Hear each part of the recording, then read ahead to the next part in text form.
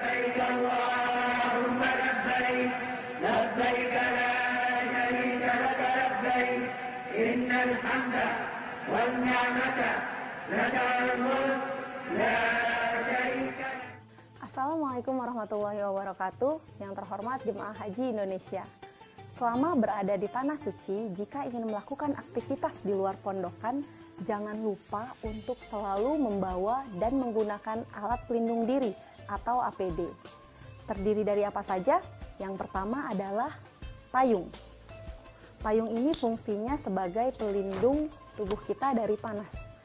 Tidak harus payung, bisa topi, bisa handuk, bisa sejadah, dan lain-lain. Intinya sih yang bisa melindungi tubuh kita dari panas langsung. Yang kedua adalah kacamata hitam. Fungsinya apa? Kacamata hitam ini untuk menghindari sinar matahari langsung dan menghindari debu. Karena di tanah suci itu debunya sangat banyak. Jadi bisa menyebabkan mata iritasi, merah-merah, dan sebagainya. Yang ketiga adalah masker. Fungsi dari masker ini adalah untuk menghindari kita dari penularan infeksi saluran pernafasan. Makanya harus dipakai terus-terusan, termasuk ketika di dalam masjid. Cara penggunaannya seperti apa? Jadi di masker ini ada bagiannya yang keras, seperti ada kawatnya. Nah, yang bagian keras ini dipakai di bagian atas. Yang kedua adalah permukaan. Kita lihat permukaannya yang mana. Kalau permukaan yang lembut itu dipakainya di bagian dalam, sedangkan yang kasar sebagai permukaan luar.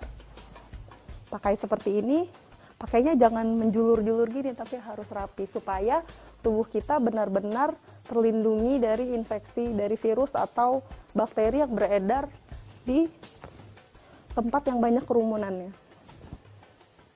Yang keempat adalah botol semprotan semprotkan pada area wajah dan bagian tubuh lain sesering mungkin.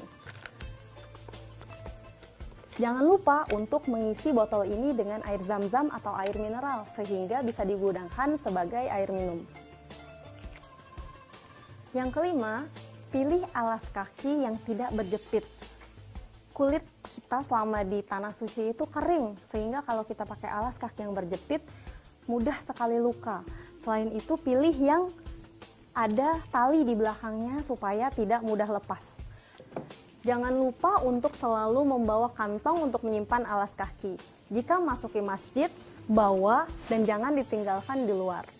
Itulah alat pelindung diri yang harus selalu dibawa dan digunakan selama melaksanakan ibadah haji. Haji sehat, haji mabrur. Wassalamualaikum warahmatullahi wabarakatuh.